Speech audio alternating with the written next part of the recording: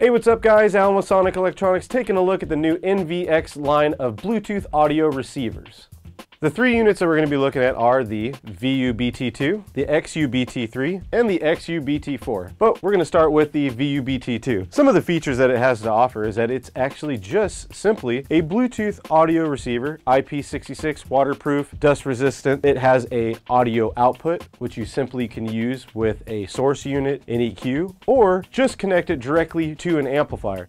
All the controls on the VU-BT2 are actually done via the device level. So once you paired up your phone or your Bluetooth streaming device, you actually can just control volume up and down, play pause, track forward, and track back.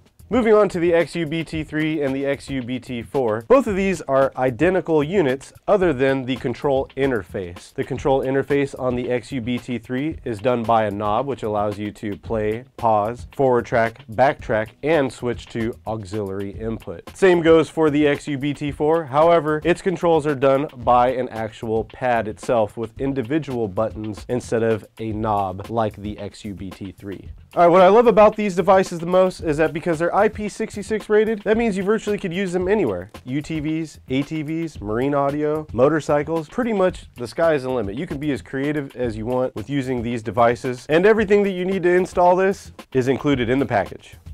Alright guys, so if you'd like to learn a little bit more about the new line of NVX Bluetooth audio receivers, click the link below, or if you're already on site, make sure you click add to cart. I'm Alan, I'll see you next time.